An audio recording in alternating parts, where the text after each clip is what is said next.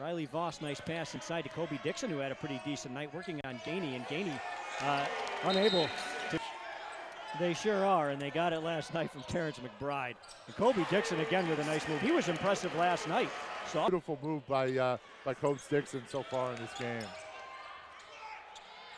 fighting for the rebound, the offensive putback. It's Brian Knapp with the basketball at the top. The crossover, jumper from right at the top is good. Brian Knapp. It over. The Red will try and turn up the pressure with a full court press. Cornell forces a lot of turnovers, and how about that inside defense? And Knapp can't get that to go, but another rebound this time to Fillion. Dolan cutting to the basket. The bucket is good. Cornell going to set something up here. They have a 12-point advantage.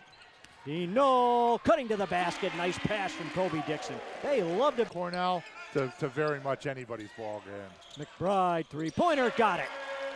Terrance McBride with not. Three-point shooter at a little over 30%, uh, but looked pretty comfortable on a deep bomb there.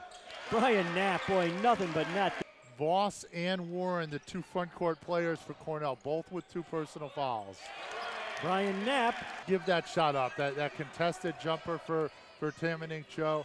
Uh, I think that's something you've got to live with uh, as you, He hasn't missed many of those. Rebounded Tamenang Choh. Ahead to Hunsaker, and Hunsaker lays it in. Day stands at second behind Columbia's Smith. That's a long three, and how do you like that?